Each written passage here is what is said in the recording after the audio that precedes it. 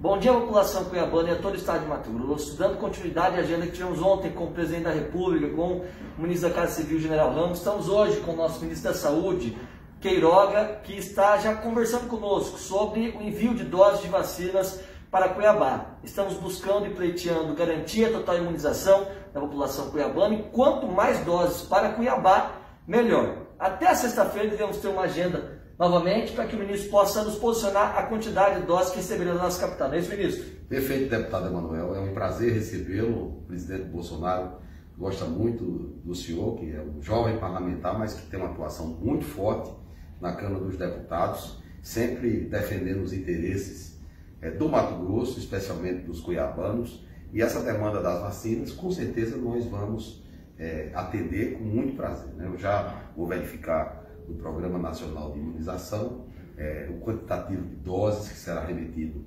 para a capital do Mato Grosso, a nossa querida Cuiabá, Cuiabá né, porque em breve eu quero estar com você e com o povo cuiabano. Eu já estive em Cuiabá várias vezes, tenho muitos colegas cardiologistas e vou rever os amigos e me reencontrar com Cuiabá e me reencontrando com Cuiabá, com o Mato Grosso. E será bem-vindo, ministro Cuiabá, e aguarde, já reforçamos o convite aqui, a sua presença no, no, no, nosso estado. Se Deus quiser, com boas notícias da quantidade de vacinas, para que a gente possa dar a garantia, a segurança e a vida da população do trabalho que o senhor vem realizando, dando essa atenção para o nosso estado. agradeço muito. Ministério da Saúde sempre de portas abertas, porque Cuiabá sempre vence o jogo.